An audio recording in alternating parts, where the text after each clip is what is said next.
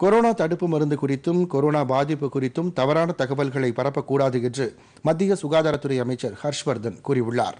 உலக சுகாதார அமைப்பின் நூற்று நாற்பத்தெட்டாவது மாநாட்டில் காணொலி மூலம் பங்கேற்று உரையாற்றிய அவர் தொற்று நோயியல் போக்குகளில் பரவலான ஏற்றத்தாழ்வு இருந்தபோதிலும் தடுப்பு நடவடிக்கை செயல்திறன் மற்றும் ஒத்துழைப்பு உத்திகளை கடைபிடிப்பதன் மூலம் தொற்று நோயை தோற்கடிக்கும் முனைப்பில் உறுப்பு நாடுகள் இருப்பதாக குறிப்பிட்டார்.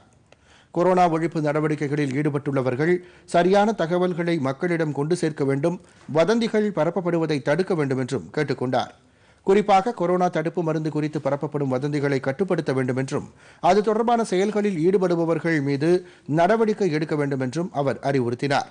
வதந்தியை மறுத்து சரியான தகவலை மக்களிடம் கொண்டு செல்வதுதான் இந்த ஆண்டின் மிகப்பெரிய சவாலான பணி என்றும் அமைச்சர் குறிப்பிட்டார். கொரோனா ஒழிப்பில் உறுப்பு நாடுகள் சிறப்பான பணியை செய்து வருவதாகவும் ஹர்ஷ்வர்தன் கூறினார். பொதிகை செய்திகளை யூடியூபில் தமிழ் நியூஸ் தூர்தர்ஷன் என்ற சேனலிலும் முகநூலில் டிடி பொதிகை நியூஸ் என்ற பக்கத்திலும் ட்விட்டரில் டிடி நியூஸ் சென்னை என்ற பக்கத்திலும் இன்ஸ்டாகிராமில் டிடி பொதிகை நியூஸ் என்ற பக்கத்திலும் காணலாம். மேலும் உங்கள் கருத்துக்களை Podhigai DD news at Gmail dot com என்ற மின்னஞ்சலிலும் தெரிவிக்கலாம்.